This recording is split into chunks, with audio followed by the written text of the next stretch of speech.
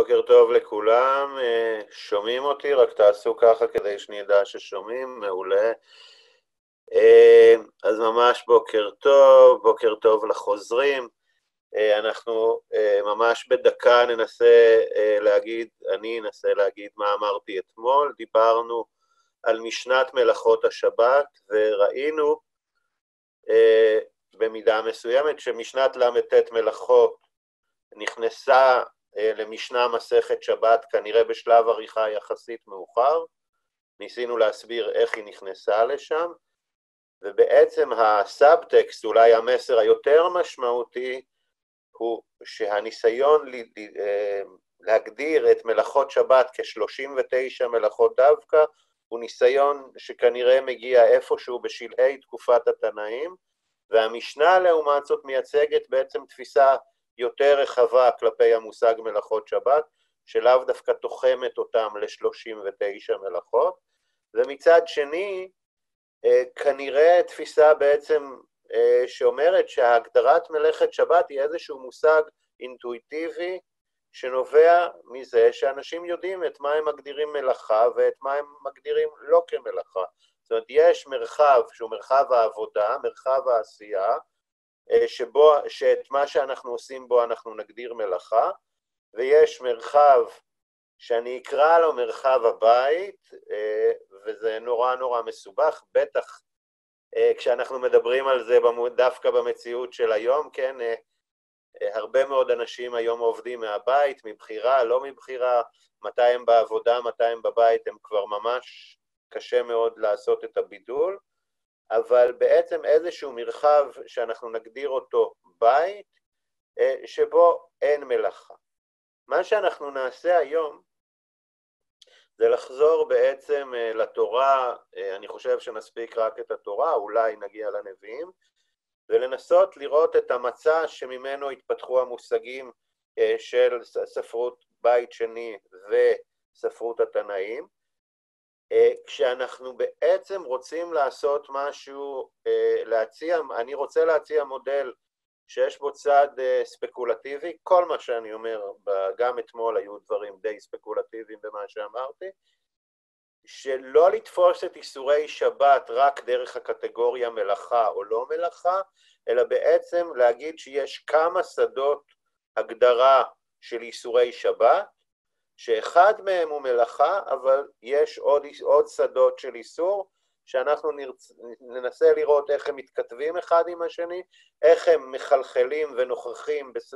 בספרות ההלכתית של בית שני, ואיך הם נוכחים לכל הפחות במשנה, ואולי, זה ודאי יהיה נכון, אה, שוב, הזכרתי אתמול שאני גם מלמד הלכה אה, לרבנים, בכולל הלכה ובוגר כולל הלכה, כשאנחנו עוברים לעולם הזה, אז פתאום יש לנו את ל"ט המלאכות ואת איסורי שבות, ובזה פחות או יותר אנחנו מספרים את כל הסיפור, אבל בעולם התנאי אני חושב שזה לא בדיוק הסיפור, ויש לי תחושה שגם ברבדים מסוימים של האמוראי, אבל אני מקווה שעד שבוע הבא אנחנו נוכל לתת תשובות קצת יותר ברורות על השאלה הזו.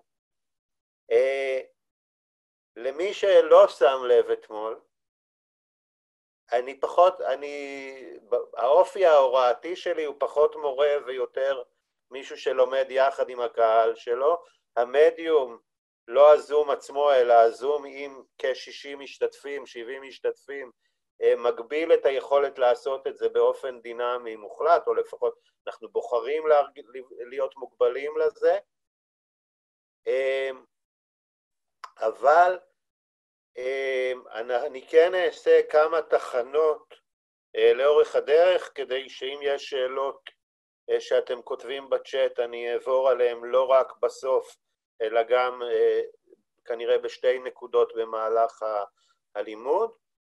והדבר השני הוא שאריאל, שנמצאת פה מטעם בית אביחי, קוראת את הצ'אט באופן פעיל, והיא אם, אם, אם תכתבו שם משהו שאומר לא הבנו, לא שומעים אותך, אה, משפטים מהסוג הזה, אז היא כנראה תבחר אה, לעצור שנייה ולקרוא אותם לפי שיקול הדעת שלה. כשאנחנו ניגשים לקרוא תורה, אנחנו נכנסים לאזור המאוד מרתק בעולם של לומדי התורה המודרניים, בעולם של מי שהכלים שמדעי היהדות נתנו לנו הם חלק מהשפה הרוחנית והשפה הדתית שלו.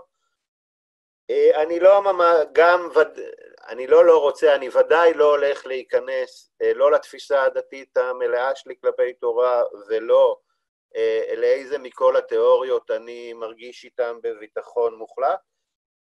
מבחינת הבנייה של השיעור הזה היום, אני בחרתי באופן כללי ללכת עם התפיסה של תורת התעודות, לפי החלוקה שמציע פרופסור ישראל קנול, כשאני לא עושה בידול מוחלט בין שתי התעודות הראשונות, בין המקור היהביסטי והמקור האלוהי, J ו-E, מסיבות שמוכרות למי שעסוק בתחום.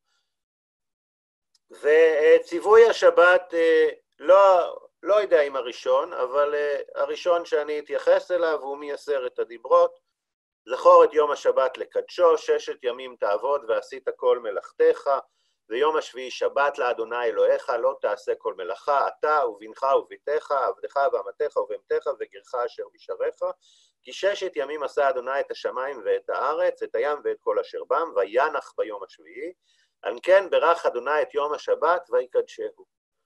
אז יש לנו פה קודם כל ששת ימים תעבוד, וביום השביעי לא תעשה כל מלאכה.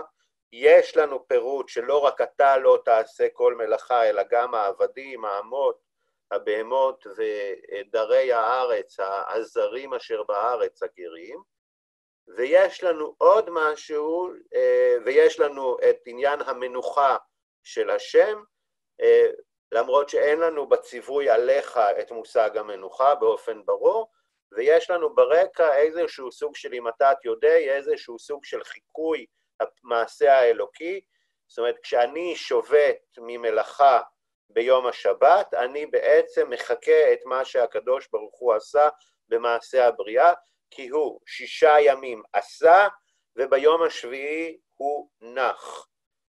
מבחינה תיאולוגית, הפילוסופים היהודים של שלהי הבית השני, ההלניסטים שבהם, יהיו מאוד מוטרדים מהשאלה אם קדוש ברוך הוא יכול לנוח, אבל לכאורה כתוב שהוא נח.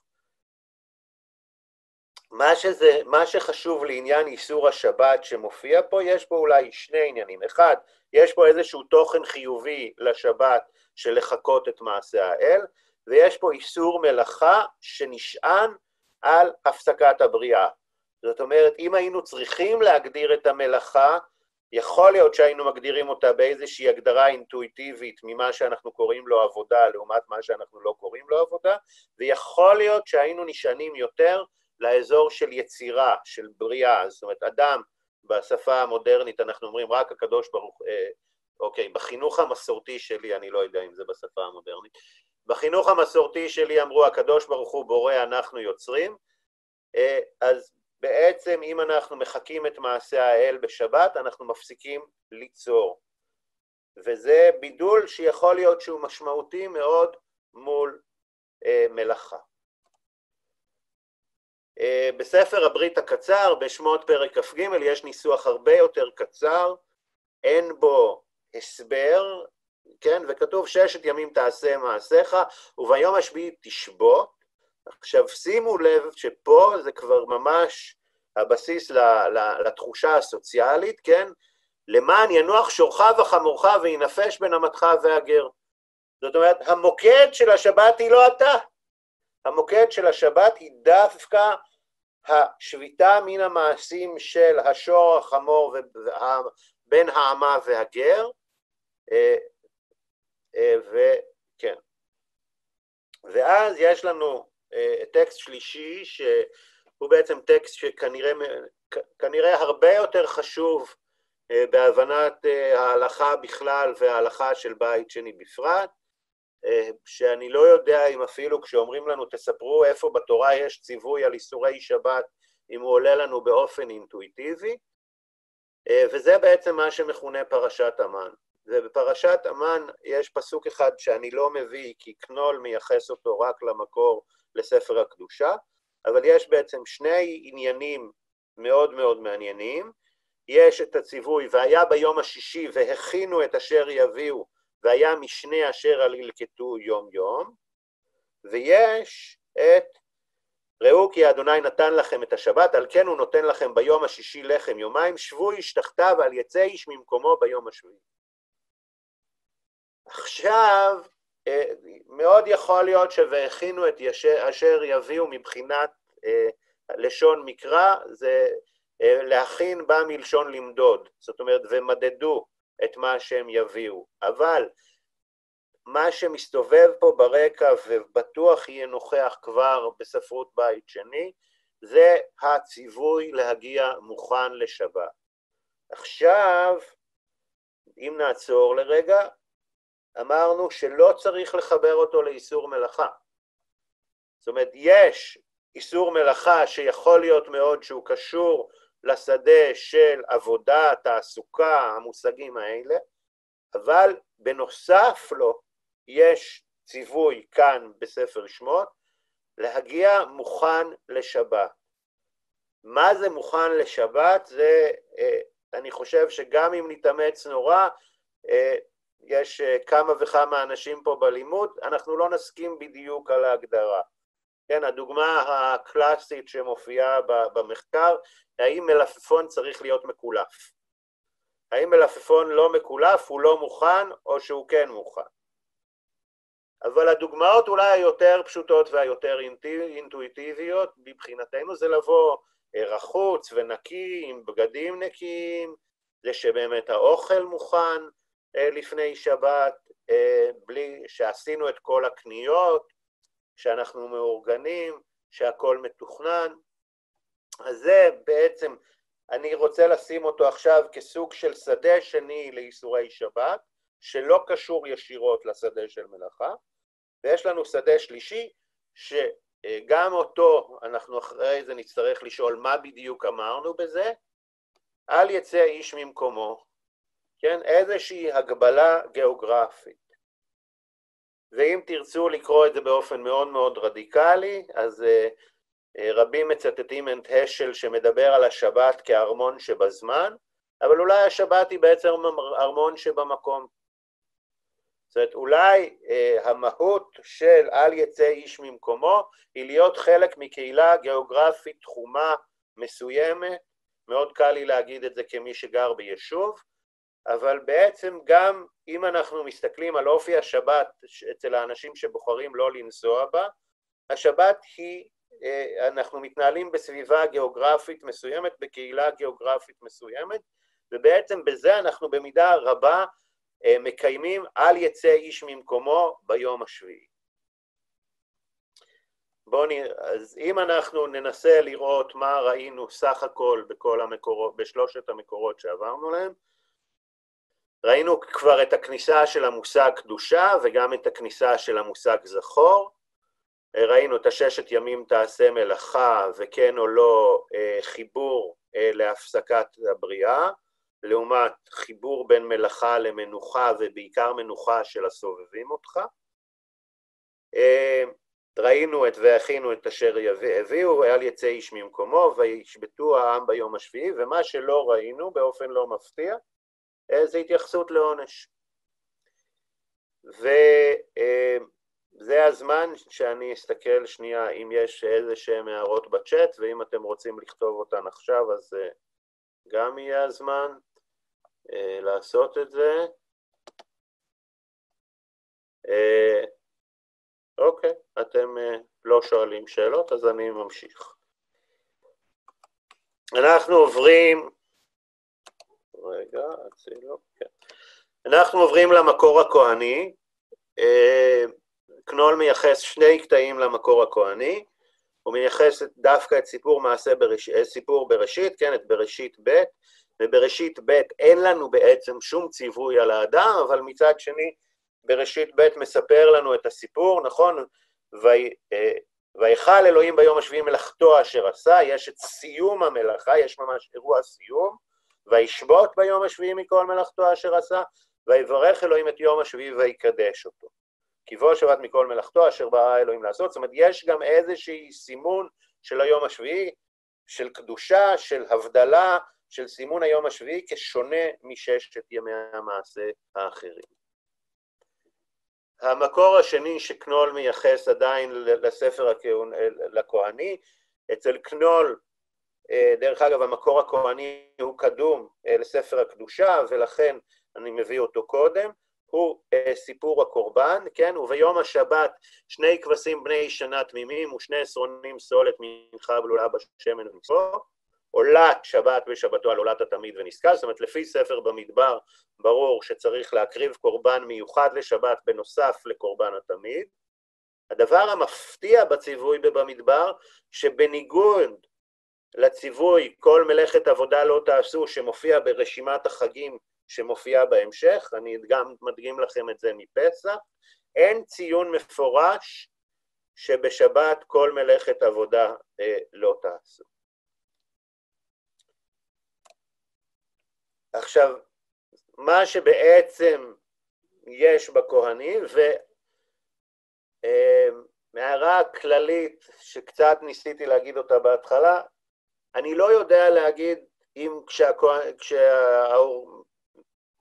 כשהעורך, או כשנוצרת התורה שיש בה בחינות שונות, או תמורות שונות, או קולות שונים, אני באמת לא הולך לנסות להכריע את הסוגיה התיאולוגית הזו היום בבוקר, אה, המקורות המאוחרים, המקורות התמורתיים מתכתבים כבר עם המקורות הקודמים.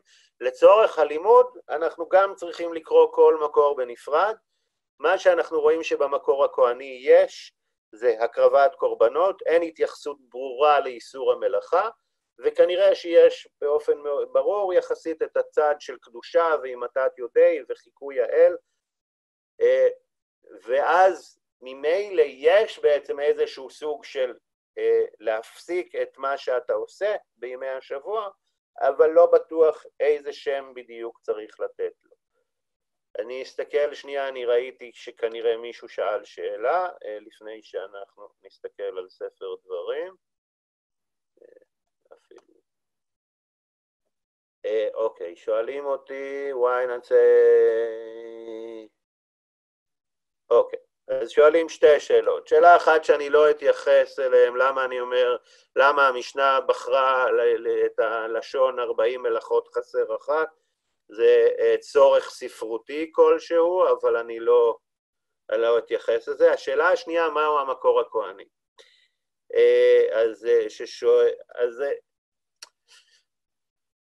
אני חושש שהתשובה הנכונה תהיה שאני אשמח לענות על זה בפרטי אחר כך ולא לענות על זה עכשיו. בגדול, התפיסה שעומדת מאחורי המקור הכהני, ובעצם המקור הכהני ואסכולת הקדושה, ההנחה המחקרית הקלאסית שלה אומרת שהתורה היא מעשה ידי בני אדם שנוצרה לאורך משך זמן מסוים, וחלק ממנה נכתב על ידי בני אדם ממסורת כהנית. אני רמ... לא רמזתי, אמרתי שאני לא מתכוון להכריע אם התורה נכתבה על בני בני אדם או נמסרה כמות שהיא על ידי הקדוש ברוך הוא, זה לא התפקיד של הלימוד הזה, אבל כשאני אומר מקור כהני, זו התיאוריה הבסיסית שנמצאת מאחורי המונח הזה, אה, ואם את רוצה או אתם אה, רוצים לדבר על זה יותר, אז לא בפורום הזה. נמשיך. אנחנו עוברים לספר דברים, למשנה תורה, חיבור שכבר uh, מעצם נתינתו הוא בעצם מספר מחדש את הסיפורים הקודמים, במקרה שלנו מספר מחדש את עשרת הדברים, את עשרת הדיברות, uh, ובעשרת הדיברות של ספר דברים כתוב שמור את יום השבת לקדשו במקום זכור, ומוקע ויש את ששת ימים תעבוד ועשית כל מלאכתך, אבל חיבור שביתת המלאכה הוא לא למעשה בראשית, אלא הוא לב וזכרת, כי עבד היית בארץ מצרים, למען ינוח עבדך ואמתך כמוך. זאת אומרת, יש לנו אפילו עוד קפיצה אחת, אם בשמות כ"ג יש למען ינוח עבדך ואמתך, פה הוסיפו לנו כמוך.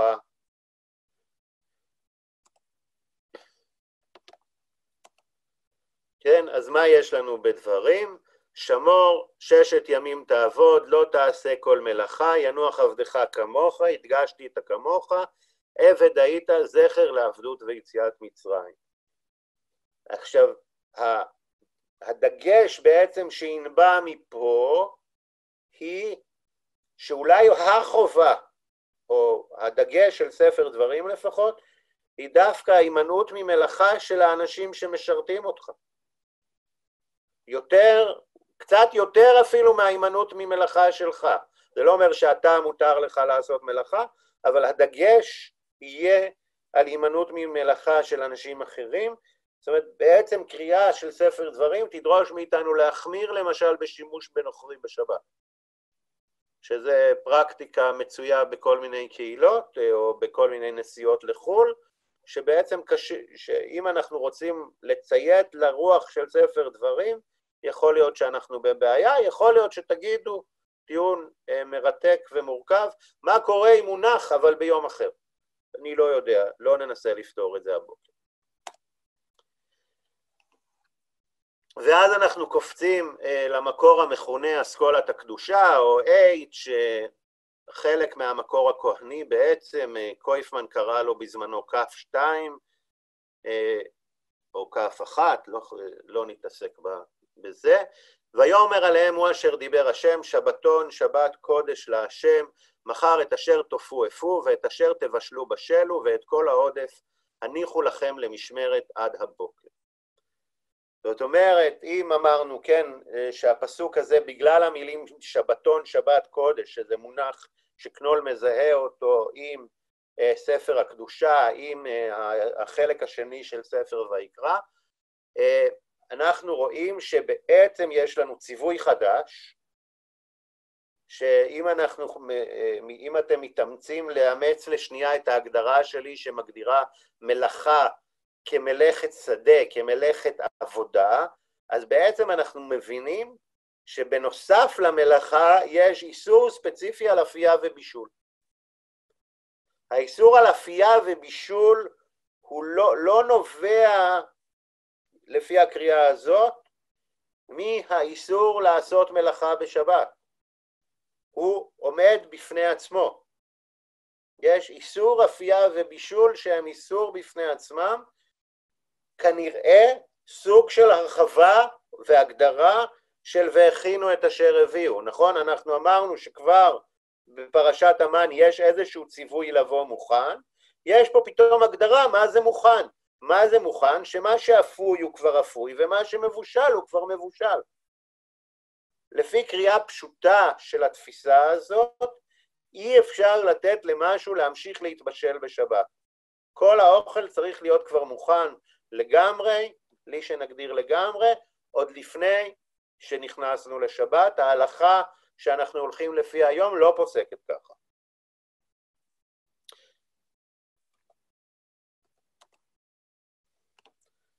אני מנסה להיות קשוב לשעון, כן, והוא לא, כמובן לא משתף פעולה. אנחנו רואים את החידוש הנוסף של ספר הקדושה, שהוא בעצם מדבר על העונש, על אמות יומה. אה, אנחנו רואים אותו מוסיף את לא תבערו אש בכל מושבותיכם ביום השבת. שוב, לפי הקריאה שאני מציע, לאסור את העברה בנפרד, לא כמלאכה, אלא כפעולה בפני עצמה, אולי בגלל שהיא קשורה, מחוברת אצלנו למעשה הבריאה באיזשהו מקום, אולי מסיבה אחרת, אבל בכל מקרה היא, היא נוספת על איסורי המלאכה. חיבור מאוד חזק גם למושג יראה וגם למושג מקדש. מאוד מרתק, ולא ניכנס לזה היום, ואני אצטרך להחליט אם ניכנס לזה מאחר שאין ציווי קורבן בשבת בספר ויקרא, לעומת זאת יש ציווי אה, לא תעשה כל מלאכה, בניגוד לציווי לא תעשה כל מלאכת עבודה בחגים האחרים. והמקור המרתק לא פחות, פרשת המקושש, שלפי הקריאה שאני מציע, האתגר של המקושש זה השאלה שהמקושש נמצא איפשהו בשדה שבין החוץ לפנים. נכון? זאת אומרת, הוא לא... עכשיו אנחנו שוב, יש פה המון המון השערות שאני לא, לא באמת יודע להכריע בהן. מה המציאות החקלאית שהטקסט הזה נכתב בה? האם יש אנשים שמקוששים עצים בשביל למכור אותם, או שכשאני מקושש עצים זה בשביל להדליק אש אצלי בבית, כן? אבל אם אני מקושש עצים בשביל להדליק אש אצלי בבית, לא בטוח שהמושג מלאכה הוא מושג אוטומטי לזה. לעומת זאת, זה כן ברור שלא הגעתי מוכן לשבת, ובאמת אה, בפרשנים, כולל בפרשנים הקדומים, יש שאלה גדולה, מה העבירה שהמקושש עובר עליה? האם זה קוצר, שזה אחת ההצעות, או שזה אולי בכלל זה שהוא מכין את עצמו להבעיר אש, ואנחנו כבר מענישים אותו בגלל שאנחנו מבינים שהוא עומד להדליק עצים באש. בכל מקרה, אני, הפרשה הזאת בעיניי מדגימה אה, שהמושג מלאכה לא מכסה את כל הגדרת איסורי השבת, ואז אנחנו נתקלים במציאות שבאמת לא לגמרי ברור מה לעשות איתה. אנחנו עוצרים פה, אה, רק נסכם את מה שקראנו יחסית מהר, ואני מתנצל על חלוקת זמן לא מדויקת עד אה, באופן מלא. כן, אז אסכולת הקדושה מוסיפה לנו חיבור בין המשכן והמקדש לקדושת השבת, את המושג שבתון, את הכל מלאכה לא תעשו, את לא תבערו אש, את האפייה והבישול, את האיסור לקושש עצים בלי שאנחנו יודעים בוודאות לאן הוא שייך, ואולי אפילו את הביטול של הקורבן, אבל לא נרחיב על זה לאור אה, מצב היריעה. יש לנו עוד פסוק שאולי מחבר גם את איסורי חריש וקציר לשבת, ואנחנו לא לגמרי יודעים מה לעשות איתו, ועכשיו אני מדלג למקומות הלא כן, זה השלב שאתם שואלים שאלות בצ'אט. אה, גבי מציע, המצגות יהיו זמינות להורדה, אנחנו, ההפקה תגיד מתי. אה, גבי מציע שאת אשר תופו אפו ואת אשר בשלו, אין פה ממש איסור על אפייה ובישול בשבת, אלא רק יש פה בעצם איזושהי הוראה איך להתנהל לאנשים ביום השישי, כן? תחלקו את מה שמדדתם ותופו חלק היום וחלק תופו מחר. זו הצעה אפשרית, אבל אני חושב, זו הצעה אפשרית.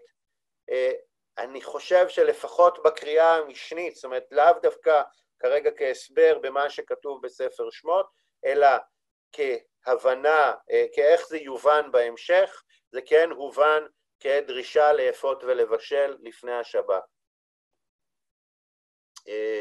אפשר לקבל מייל לשאלות? כן. תישארי פה עוד שנייה ואני בכם... אז הנרי שואל עכשיו, הנרי, עכשיו אתה עושה משהו שאסור לעשות, אבל רק תקשיב שנייה כי אני אגיד. כן, הנרי שואל אם יש איסור להמשיך לבשל בשבת, אז מה קורה עם החמים? אז אני אמרתי מאוד מאוד מפורשות אתמול, אז כדאי שאני אחזור על זה היום. השיעור הזה הוא לא הלכה למעשה. הוא לא הלכה למעשה בעיקר כי ההלכה, לפחות כמו שרוב הפוסקים פוסקים אותה, ממש לא מוכרעת לפי, בטח לא לפי התורה, ובטח לא לפי ספרות בית שני, ואפילו לא לפי המשנה בפני עצמה, אלא לפי איך שאנחנו קוראים את המשנה בהמשך. ההכרעה של המשנה, שאני מניח שנגיע אליה, אולי אפילו מחר, אני עוד לא, אני צריך להחליט סופית איך לסדר את החלקים, היא כבית הלל. בית הלל בעצם באים ואומרים שאיסור המלאכה הוא איסור על האדם ולא איסור על החפץ בגדול, ולכן אם אני לא עושה מלאכה בשבת, אבל משהו שהיה עדיין לא מבושל בערב שבת יהפוך למבושל בשבת, מותר לי אה, ליהנות ממנו. צודקים. אז, אה, אז זו, זה לעניין השאלה, שאלות בהלכה. אה, ציפי שואלת לגבי קורבנות בשבת, אסור, מותר. אה, אני מודה שאני כבר בערך חמישה ימים מחפש מחקרים שמתייחסים לשאלה הזאת. לא לגמרי סיפרתי לכם על בתי הגידול שלי, אבל ההכשרה הבסיסית שלי מה שמכונה ספרות רבנית, תלמוד וספרות רבנית, לא במקרא, מקרא היא הכשרת משנה, כי אי אפשר בסוף לקרוא אחד בלי השני, אה, ולכן בדרך כלל מה שאני עושה כדי להתעסק בסוגיות כאלה זה לקרוא מה כתבו אנשים אחרים. שאלת הקורבן בשבת היא שאלה שאני עדיין כמעט ולא מצאתי התייחסות ישירה אליה, אה, ואני מאוד מוטרד ממנה. זאת אומרת, התיאור הקנולי אומר שהיה קורבן בשבת עד בסוף בית ראשון, ואז פתאום בבית שני כנראה, כנראה מבטלים את הקורבן בשבת. אה, כסוג של אה, אה, הזדהות עם השביתה, אולי חיבור לשביתה של האל. זאת אומרת, יש פה בעצם הרי שתי תנועות רוחניות הפוכות. התנועה הרוחנית הראשונה היא להתחבר לאל. זאת אומרת, אני רוצה לעשות, שבת היא מיתת יודעי, היא חיבור אל האל. איך אני עושה חיבור אל האל? מה הדרך הכי טובה, לעשות? הרגע הלימינלי שבו אני עובר בין שמיים לארץ מבחינה דימויית, זה הקורבן. לעומת תפיסה אחרת, שאיך אני עושה חיקוי של מעשה האל, האל שבת מכל מלאכתו, הוא לא עשה שום דבר. אם הוא לא עשה שום דבר, גם אני לא אקריב קורבן, כי זה לעשות, זו פעולה מאוד מאוד מעשית. עכשיו, אני לא... זה, זה הצעות נורא, כאילו, שאני אוהב אותן, אבל אני לא יודע להגיד בוודאות שבאמת אה, אחרי, אה, בתחילת בית שני פתאום מבטלים את הקורבן, ממש לא בטוח. הקריאה הזאת היא קריאה מאוד רדיקלית, היא יושבת יפה בפסוקים, כן, לא, היא, יש, יש לה צידוק. אה, הפסוקים בספר ויקרא לא שמים קורבן בשבת ומיד אחרי זה שמים קורבן בכל המועדים האחרים. אבל, לא יודע, אז אני, ציפי, אני בעיקר מזדהה עם השאלה. נורא תודה רבה, נתראה מחר. כיף להיות אתכם, ותודה רבה.